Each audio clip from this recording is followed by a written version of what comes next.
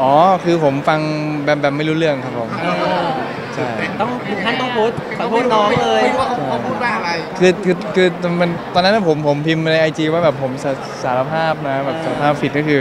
คือตอนที่เขาถามอะไรสักอย่างบนเวทีอะตอนนั้นอะคือด้วยความที่ไมค์มันไมค์ไมค์ไมค์มันแบบเอ็กโคมากครับแล้วคือมันก็แบบ delay กันไป delay กันมาแล้วผมก็แบบ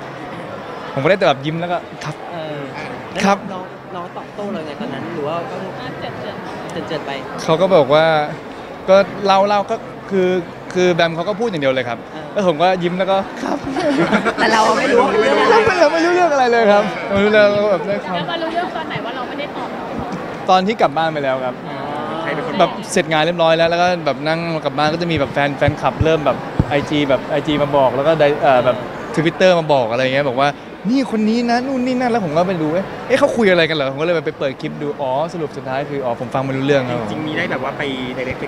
คุยกับส่วนตัวเขาไหมว่าอะไรไม่ไม่ได้มีไม่ได้มีไม่ได้มีครับไม่ได้ใช่มีคอนแทคส่วนตัวเนาะใช่